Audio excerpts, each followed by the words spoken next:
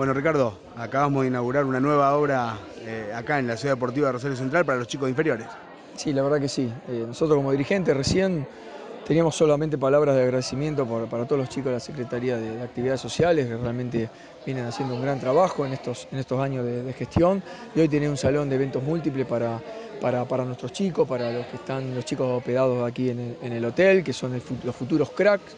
Y, realmente esto nos permite seguir creciendo como, como institución, seguir creciendo de los humanos, seguir aportándole a los chicos eh, talleres, eh, eventos, que, nos engrandece, ¿no? nos engrandece como club. La Secretaría de Actividades Sociales hace cuatro años que viene trabajando en la Casa Infanto Juvenil. Eh, bueno, iniciamos un nuevo proyecto en conjunto con Fútbol, que es la construcción de un espacio, de un salón de usos múltiples, para dar talleres de arte. bueno, todo lo que sea ajedrez, música,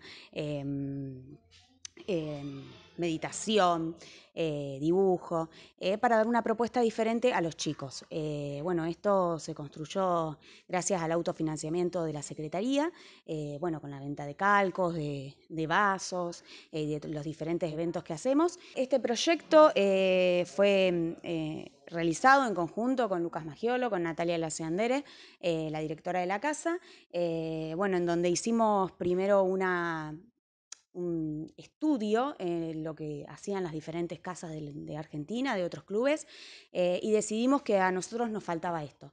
Más allá de que actividades sociales eh, ofrecía un día de dispersión para el chico, eh, no tenía una continuidad en los talleres, o sea, no, no, era una continuidad de dibujo, no era una continuidad de ajedrez, sino que, bueno, eran diferentes actividades en donde se trataba de sacar al chico de la cotidianidad.